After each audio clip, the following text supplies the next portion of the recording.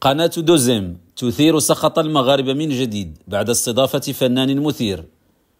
أثار مرور فنان إفريقي على النشرة الرئيسية للأخبار بالقناة الثانية سخط المغاربة بسبب تركيبه لملاقط الغسيل على شعره في شكل مثير يدعي من خلاله أنه نوع من أنواع الفنون.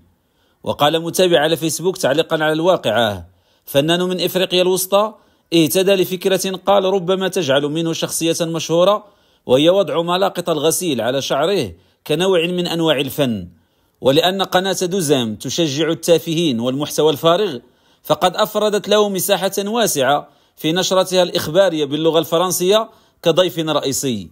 وأردف المتابع فسأله المذيع هل وجدت فرصتك في وطنك الثاني المغرب للكشف عن موهبتك التي أطلقتها من هنا في الدار البيضاء؟ فرد عليه فنان القراصات كل شعرة في رأسي أحولها إلى قطعة فنية. يذكر أن دوزيم قد أثارت في العديد من المرات استنكارا واسعا من الشعب المغربي باستضافتها لظواهر مثيرة وشادة تسوق للانحراف الأخلاقي في عدد من المرات.